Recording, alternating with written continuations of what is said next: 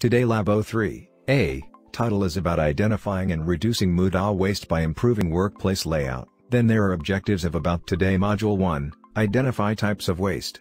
2. Relationship about Muda, Muri, Mura.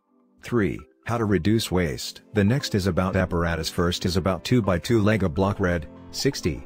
Next is blue, 20. Next is green, 40.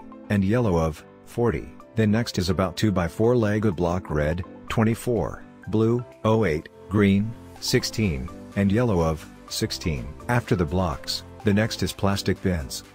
Stopwatch. Camera. Plastic bags. Measuring tape.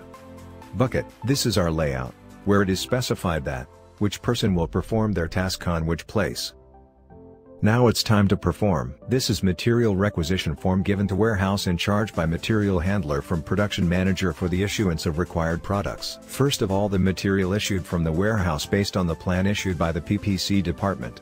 The production manager authorizes the issuance of material from the warehouse using the material requisition form. The warehouse in charge is responsible to issue the required material. He is also responsible to keep the items at their designated location in the warehouse. Production manager is responsible to look after the production activities from start to end. The responsibilities include to make sure the required material is issued by the warehouse, the production runs as per instructions, now material is handling to welder for welded, and to bolt on. After that to riveter. All of these will do their task. Now, material transfer from welder to riveter. Then it will transfer to bolt-on. Now task done by bolt-on transfer to packer, who will pack the all products in a plastic bag.